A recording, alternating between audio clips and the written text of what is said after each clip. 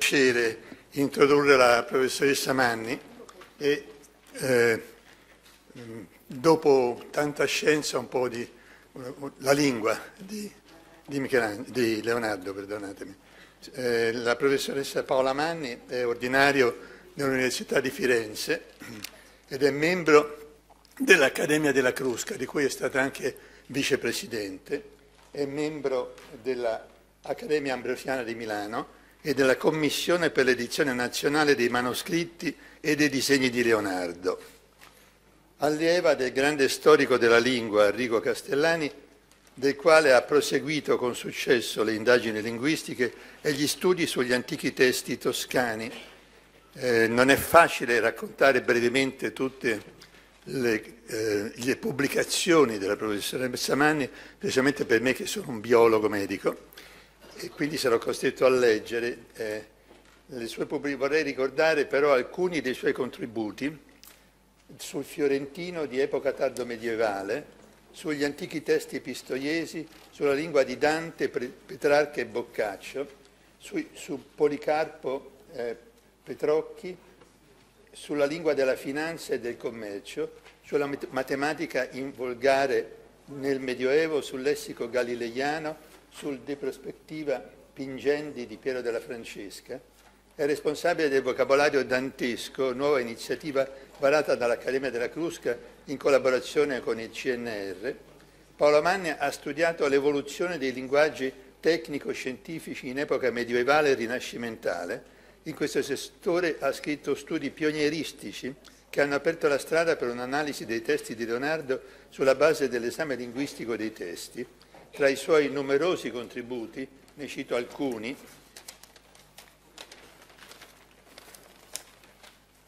eh, la lettura vinciana, percorsi nella lingua di Leonardo, grafie, forme e parole, il glossario leonardiano, nomenclatura delle, ma delle macchine nei codici di Madrid e Atlantico, una serie di saggi dedicati alla terminologia tecnico-scientifica di Leonardo con particolare riguardo alla meccanica e all'anatomia ed infine gli studi dedicati all'analisi dei testi sotto i diversi aspetti della lingua, dalla grafia alla sintassi. Oggi ci intratterà appunto su questo argomento e ci parlerà del scrivere la macchina umana, tradizioni e innovazioni nel lessico anatomico di Leonardo. Grazie Paola.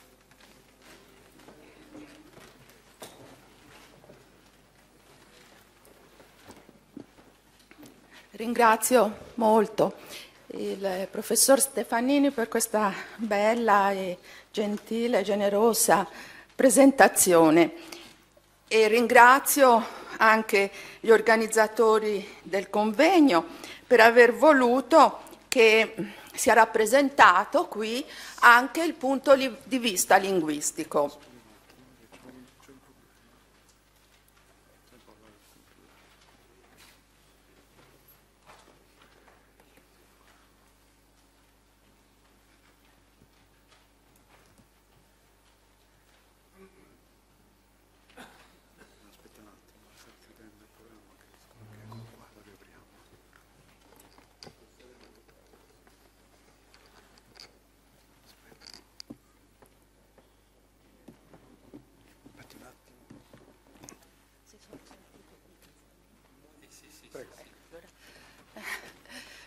Mi dicono che i ringraziamenti si sono sentiti e questo mi fa piacere.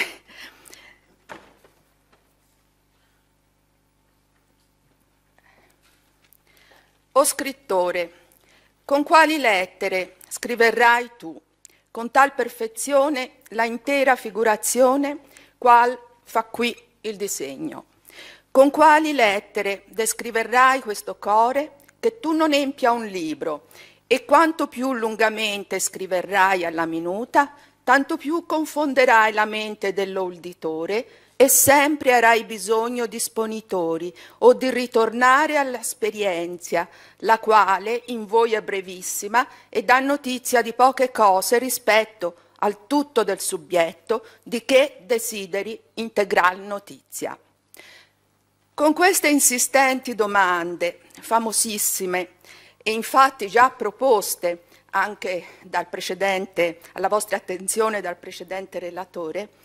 Leonardo esalta il disegno, al quale riconosce, nell'ambito della trattazione anatomica, una funzione comunicativa assolutamente superiore a quella della parola. Le due frasi, inserite in un discorso di più ampio respiro, connesso alla riflessione sul paragone delle arti sviluppata nel trattato di pittura, si leggono nel foglio 162 recto del corpus degli studi anatomici, che gioverà rivedere, anche questo l'abbiamo da poco visto, riprodotto nella sua interezza. Come si può notare, esse sono inserite nella fittissima trama delle annotazioni, che da ogni lato incorniciano il disegno del cuore e dei suoi vasi sanguigni, addossandosi al disegno stesso senza però intaccarlo nella sua squisita nitidezza e dilatandosi poi verso l'esterno fino a invadere i margini della carta. La visione del foglio potrebbe anche indurre il sospetto che questa dichiarazione di impotenza del descrivere, affidata all'enfasi di due interrogative dirette, sia quasi un topos, una preterizione dell'artista, che a questa altezza cronologica possiede fra le sue risorse espressive anche una buona strumentazione retorica. Ma Leonardo esprime qui una verità profondamente sentita che ribadisce più volte nei fogli di Windsor. Ad esempio,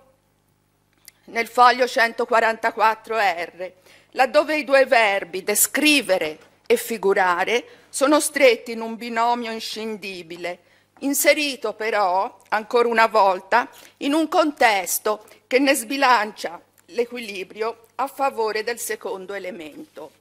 E tu che vogli con parole dimostrare la figura dell'uomo con tutti gli aspetti della sua membrificazione, removi da tale opinione, perché quanto più minutamente descriverai, tanto più confonderai la mente del lettore e più lo rimuoverai dalla cognizione della cosa descritta. Adunque è necessario figurare e descrivere. In questo caso l'annotazione si trova all'inizio di un foglio ritenuto fra i più ricchi di contenuto e certo anche fra quelli che con maggiore impatto mostrano come la dominante sequenza dei disegni si dilati nella pagina, accompagnata dal corredo docile e subalterno, ma pure necessario, delle annotazioni a margine. Le indagini di Carlo Vecce e Paola Salvi hanno peraltro dimostrato come nel complesso dei fogli anatomici la dialettica fra i due poli del descrivere e del figurare subisca un'evoluzione nel tempo, ben evidente se si confrontano i due indici del progettato libro sul corpo umano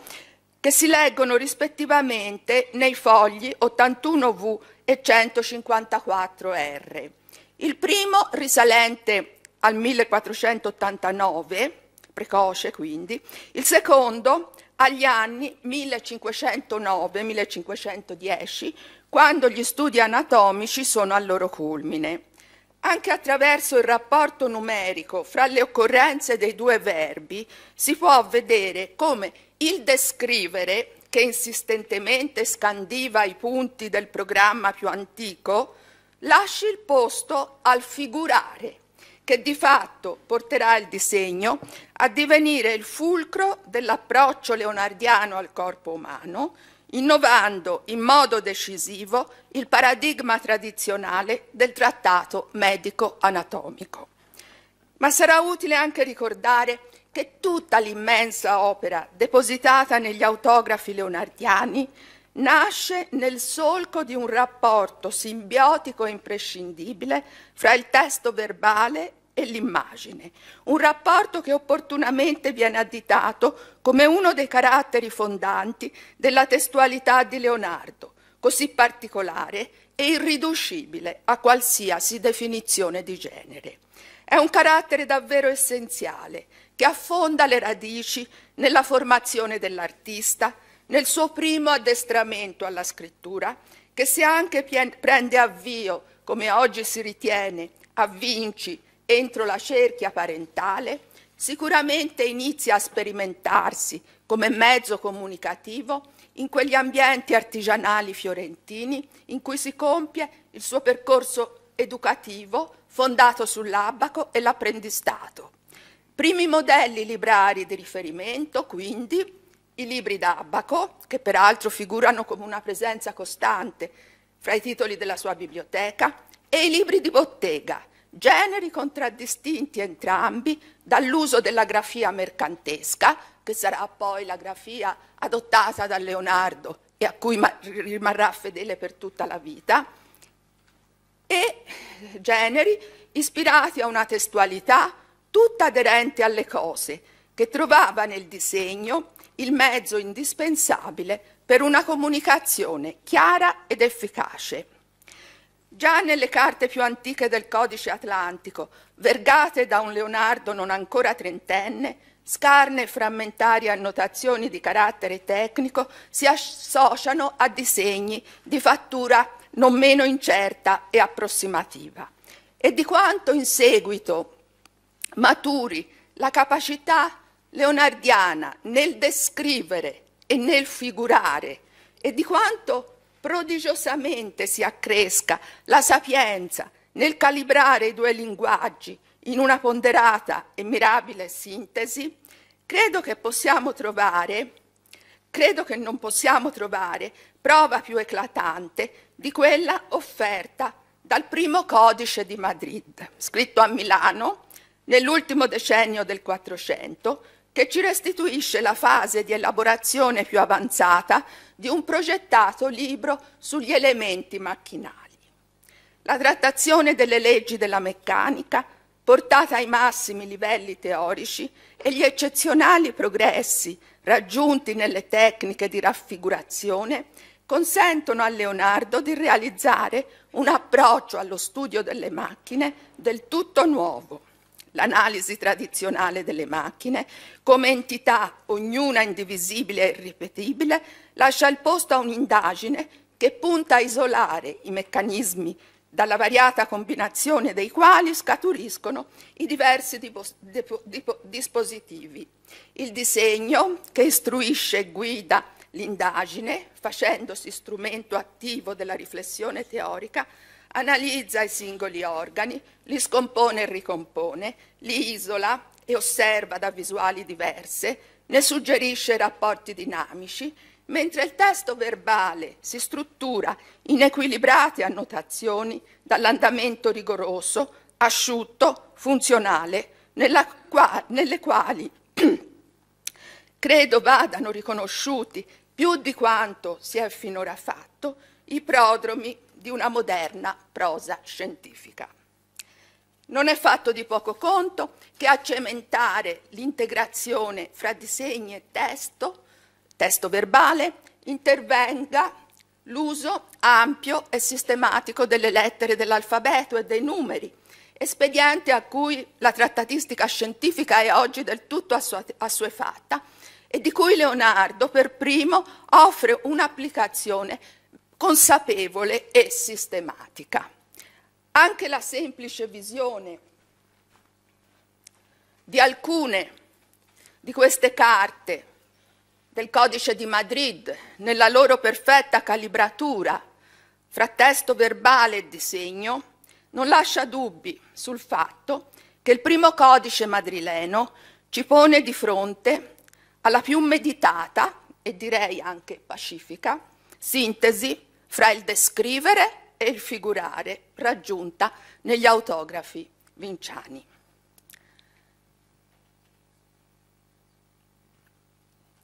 È dopo questa prova che, varcata la soglia del Cinquecento, Leonardo si applica con decisione e continuità allo studio del corpo umano e riprende il progetto di un Atlante, oggi diremo così, dedicato alla macchina del corpo umano. Macchina del corpo umano. È Leonardo stesso che usa questa metafora e risulta che nell'ambito della lingua italiana sia il primo ad usarla. questo ce lo dicono ce lo dicono, purtroppo non ce lo dicono i dizionari storici che eh, datano questa, questa, metafora un secolo dopo, però sicuramente il confronto con questi ci dice che Leonardo li, soprava, li, li anticipa. Nel foglio 179 databile al 1513. Così Leonardo si rivolge al lettore, invitandolo a superare le sue preoccupazioni morali nei confronti della pratica anatomica. O speculatore di questa nostra macchina, non ti contristare perché con l'altrui morte tu ne dia notizia, ma rallegrati che il nostro altore abbia fermo lo intelletto a tale eccellenza di strumento. Questo solenne invito suggella una carta che peraltro è emblematica di come il disegno stesso possa talora intervenire a trasfigurare il dato osservativo allo scopo di enfatizzare l'analogia corpo-macchina. La rappresentazione dei muscoli che sostengono il collo è qui evidenziata attraverso le linee di forza dei tendini, denominati da Leonardo corde, che li assimilano alle sartie che mantengono in posizione retta l'albero delle navi, come poi è esplicitato nel testo dove si legge farai prima la spina del collo con le sue corde, a uso di albero della nave, con le sue costiere. Di poi farai la testa con le sue corde che le danno il moto sopra il suo polo. Appare significativo anche l'aggettivo strumentale con cui Leonardo ripre- riprecisa il progetto del libro dedicato all'anatomia umana. Libro titolato De figura umana, lo aveva chiamato alla fine degli anni Ottanta, nel foglio 40R, mentre in una nota risalente agli anni 1506-1508, foglio 81V, parla di un libro dedicato alla figura strumentale dell'uomo,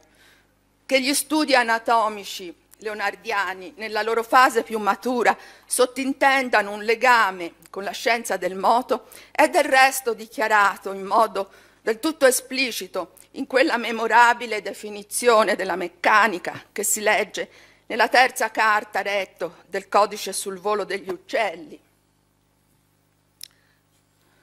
La scienza strumentale, ovvero macchinale, è nobilissima e soprattutto l'altre utilissima, con ciò sia che, mediante quella, tutti i corpi animati che hanno moto fanno tutte loro operazioni. Dichiarazione che anticipa di pochi anni quanto poi ribadirà negli stessi fogli di Windsor, pensando a una ricomposizione della sua opera in un'ideale unità,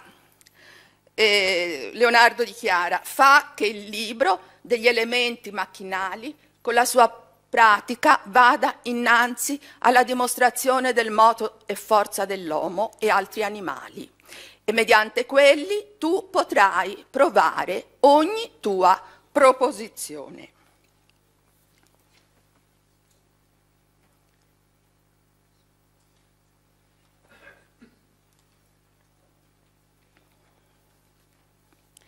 Ma il descrivere la macchina umana, come abbiamo visto, è impresa ardua che coinvolge il mezzo linguistico in un rapporto agonistico con il disegno e la prodigiosa capacità di quest'ultimo di dare la vera notizia di quella macchina e dei suoi organi attraverso metodi di raffigurazione di raffigurazione straordinariamente innovativi ed efficaci, che mettono a frutto quanto già sperimentato nel disegno progettuale della meccanica e dell'architettura. Dunque Leonardo, in quest'ultima stagione della vita, è chiamato ad un'ennesima battaglia con la lingua. Ed è una sfida diversa dalle tante sfide che già ha intrapreso durante la sua vita con la lingua. Non si tratta della battaglia con la lingua di cui parla Italo Calvino quando ripercorre i faticosi procedimenti di riscrittura di un Leonardo non ancora trentenne, proteso nel tentativo di catturare con l'esattezza delle parole l'immagine fantastica del mostro marino. Né si tratta della battaglia con la lingua che nasce dalla fame di vocaboli, di cui parla Maria Luisa Altieri Biagi, pioniera degli studi sulla lingua leonardiana, quella fame di vocaboli che porta l'artista negli anni milanesi a accumulare nelle carte del codice tribulziano riserve di parole. La battaglia con la lingua, ingaggiata nei fogli di Windsor, chiama in causa la lingua nella sua concezione più alta e astratta, la lingua in quanto istituto linguistico, codice linguistico. È una battaglia ultima e suprema che impegna Leonardo nella piena maturità, quando ormai le sue risorse espressive si sono intensamente e consapevolmente corroborate. A chiedersi con quali lettere descriverai questo core. È l'uomo che vent'anni prima si era definito senza lettere, ma che ora, dopo un lungo e faticoso percorso autoeducativo, ha sopperito a quella mancanza e ha recuperato almeno in parte quelle componenti di natura adotta che la sua prima educazione gli aveva negato. Solo tenendo conto di questo si capisce come le medesime carte di Windsor, insieme a tante conclamate ammissioni di impotenza del codice verbale rispetto al disegno, possano offrirci anche quella famosissima affermazione di gratitudine verso la lingua materna, che come si vede si deposita che come si vede si deposita, qui, eh, si deposita quasi surrettiziamente nel foglio 178R a margine di una fitta colonna di testo, che si vede poi appunto sulla destra, dove viene descritto con abbondanza di termini l'apparato gastrointestinale. La noticina è proprio aggiunta quando ormai ha già trascritto questa descrizione, ha già fatto questa descrizione impiegando la dovuta eh, quantità di termini anatomici. Io ho tanti vocaboli nella mia lingua materna che io mi ho piuttosto da doler del bene intendere le cose che del mancamento delle parole con le quali io possa bene espriemere il concetto della mente mia. L'apparente contraddizione si supera pensando che prima Leonardo si riferiva alla lingua come istituto linguistico, qui invece si riferisce alla lingua che si realizza nella, nella sostanza di una determinata lingua viva e vera, nella fattispecie il riferimento chiaro è al lessico della lingua. Leonardo parla di vocavoli. Il fatto che di fronte alla complessità della macchina umana il mezzo linguistico abbia potenzialità impari rispetto al mezzo iconografico non gli impedisce di riconoscere che la sua lingua naturale, la lingua materna incarnata dal fiorentino, gli fornisce risorse lessicali, vocavoli appunto, sufficienti per esprimere tutto quello che il suo pensiero poteva concepire.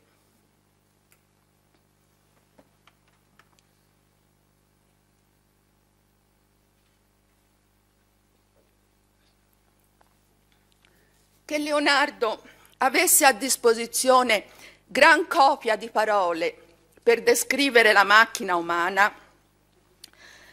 è testimoniato dal recentissimo glossario dell'anatomia, ultimo arrivato della serie dei glossari attraverso cui si va ricomponendo tassello dopo tassello, come in un grande puzzle, l'ingente patrimonio di lessico tecnico-scientifico depositato negli autografi di Leonardo.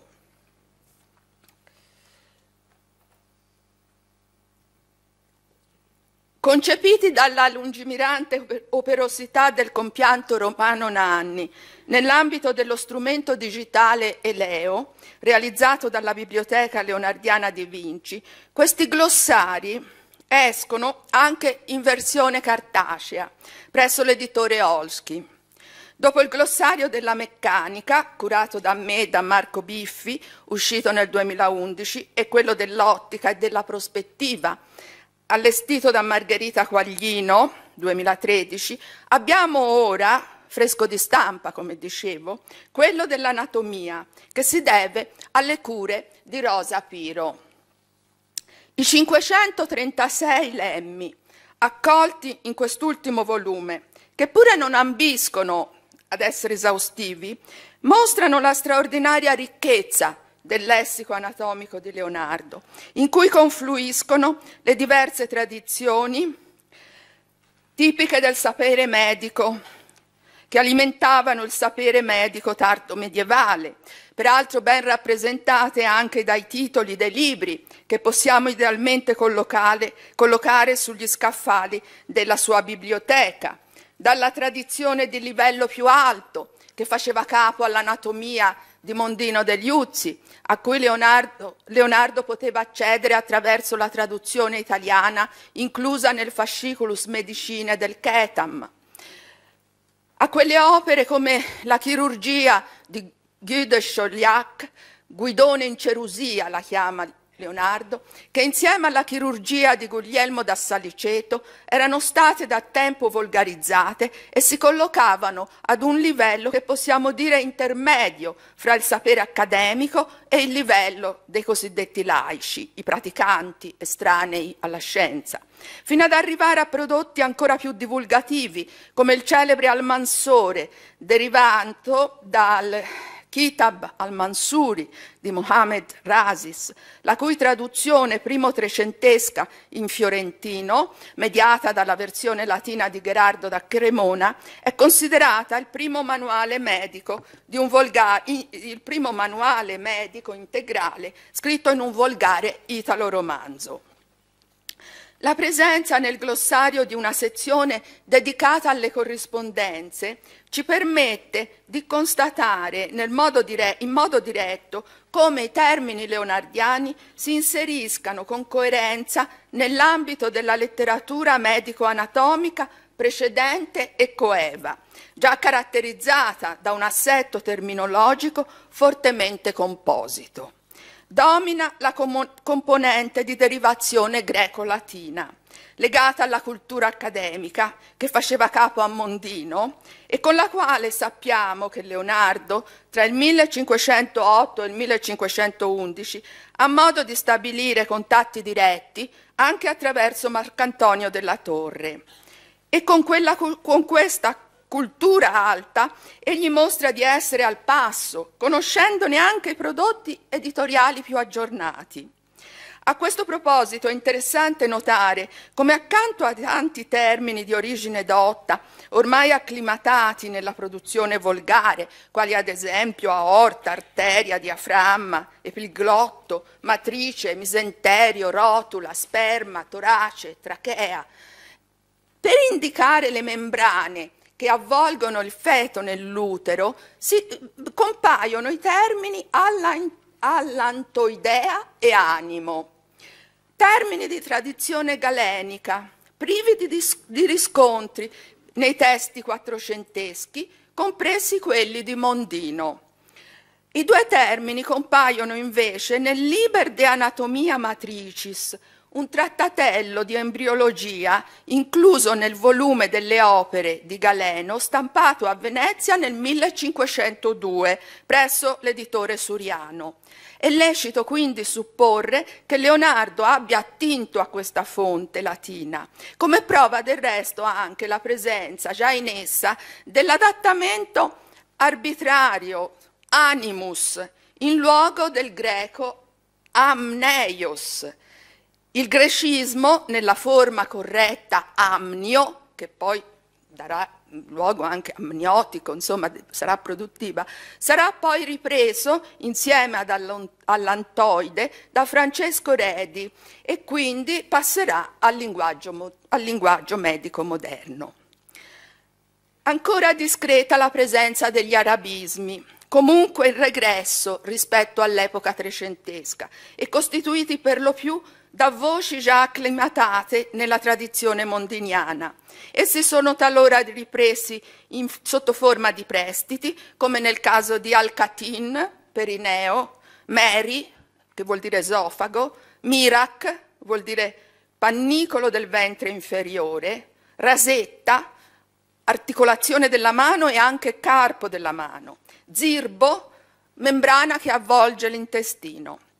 Altre volte gli arabismi vengono assimilati sotto forma di calchi, sema, di calchi, come nel caso di dura madre, pia madre, le due membrane, una più robusta e una più sottile, che rivestono l'encefalo, e come nel caso di fucile, che indica ciascuna delle due osse sia della gamba che del braccio. E questo è un calco sull'arabo zand, che voleva dire fuoco, propriamente coppia di legnetti dal cui sfregamento si ottiene la scintilla, il fuoco. E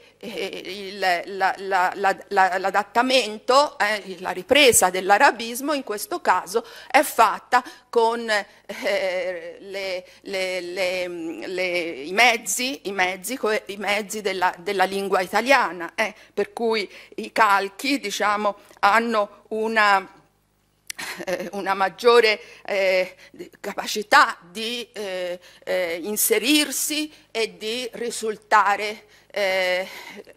di entrare nel, nel, lessico, nel, lessico, e non è quindi un caso che appartengono a questa seconda categoria, la categoria dei calchi, gli arabismi che sono riusciti a insediarsi stabilmente nel linguaggio anatomico moderno, superando il grande processo di selezione e riassestamento che si avrà nel Seicento. Fra questi ricorderemo appunto presenti anche in Leonardo Pia Madre e Dura Madre. Confluiscono nel lessico leonardiano anche un gran numero di voci del tutto popolari che facilmente si mettono in risalto per i loro caratteri strutturali e per la trasparenza semantica che ne denuncia la derivazione per via analogica da un vocabolario di base di uso comune. Potremmo citare termini come corda, tendine e legamento, che era però presente anche nell'anatomia di Mondino, gobbo, convessità di un osso, padella o patella, per indicare la rotula, eh, pesce del braccio e della coscia, muscolo vuol dire muscolo, e pescino, aggettivo, detto di un muscolo dalla forma allungata. E ancora foppello, incavo del braccio, del gomito, del mento, termine questo, di ascendenza lombarda, presumibilmente legato al settentrionale foppa, bos, fossa, buca.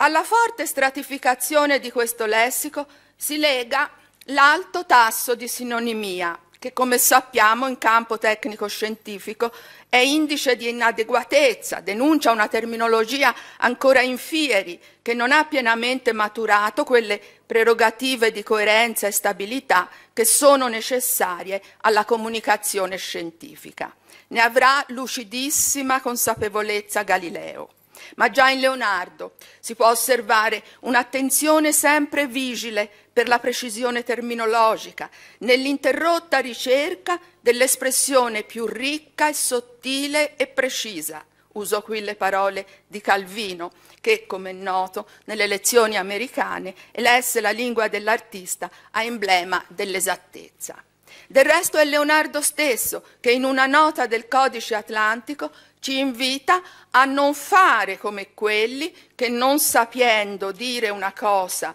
per lo suo proprio vocabolo vanno per via di circuizione e per molte lunghezze confuse.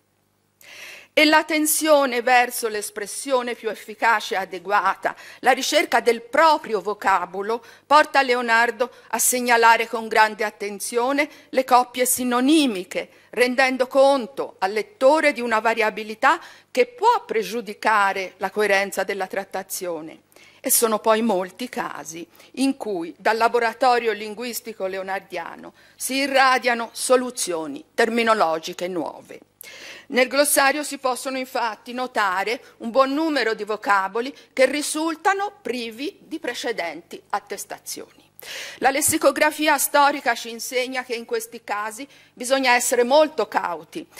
perché a garantire la novità di una parola non basta l'assenza di, docu di, documentazione scritta precedente. Tuttavia in un settore come quello dell'anatomia, che ha alle spalle una produzione relativamente ampia e consolidata, alcuni termini di prima attestazione leonardiana, spesso connessi alla novità del suo approccio, eh, possono senz'altro essere considerati nuovi. Anche dal versante dell'anatomia si ripropone quindi la fatidica domanda. Il genio di Vinci è stato pure inventore di parole? In che misura egli è stato ideatore della propria terminologia? Certo, Leonardo anche in questo campo lasciò il segno della sua creatività ma risulta sempre più evidente, via via che si ricompongono i pezzi del suo vocabolario, che egli non agì tanto da onomaturgo, nel senso miglior, miglioriniano del termine, Bruno Migliorini, storico della lingua, padre della nostra disciplina, ovvero non coniò parole strutturalmente nuove, ma agì piuttosto sul piano della semantica, dando nuovi significati tecnici a vocaboli già esistenti e trasferendoli da un settore all'altro attraverso procedimenti di riuso e rideterminazione. Si tratta di procedimenti di transfert che hanno da sempre concorso alla formazione dei linguaggi specialistici, ma certo che Leonardo che in Leonardo questi procedimenti trovano un, hum, un, humus particolarmente fecondo, legato alla poliedricità del suo approccio alla scienza, alla prodigiosa capacità del suo vedere, al suo percepire i fenomeni e le leggi della natura all'insegna di una profonda unitarietà. Nel caso della terminologia anatomica è quindi naturale che un ruolo di spicco si debba di nuovo attribuire alla meccanica, Così, nella descrizione dell'apparato circolatorio, Leonardo parla di armadure, ovvero sostentacoli dei pannicoli, cioè dei tessuti membranosi che rivestono il cuore. Due termini, armadura e sustentaculo, usati in ambito meccanico e anche architettonico, nel rispettivo significato di struttura di contenimento, incastellatura e supporto.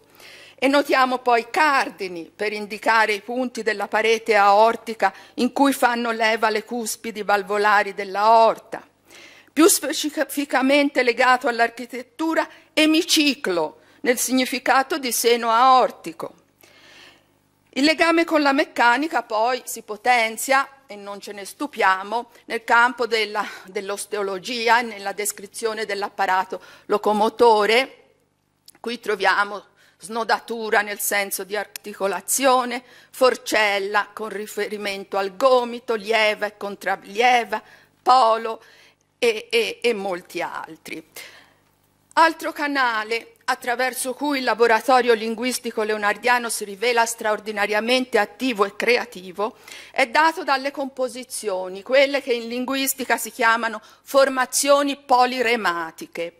Accade spesso che da un termine di base si originino grappoli di denominazioni analitiche, composizioni cioè formate da un sostantivo accompagnato da un altro elemento, per lo più un aggettivo, che lo ridetermina e ne specializza il significato. Basta scorrere l'indice del glossario per rendersi conto dell'altissimo numero di composizioni di questo tipo, che denunciano l'incalzante necessità di una terminologia più specializzata e il tenace impegno profuso da Leonardo nell'adattare i tanti termini troppo vaghi e generici alle necessità proprie, rendendoli un elemento attivo che concorre all'elaborarsi della riflessione teorica. Farò un solo esempio da muscolo, eh, sulla base di muscolo eh, si, abbiamo queste formazioni che sono quasi tutte delle prime attestazioni, muscolo dilatante, muscolo tirante, muscolo longitudinale, trasversale, estrinseco e intrinseco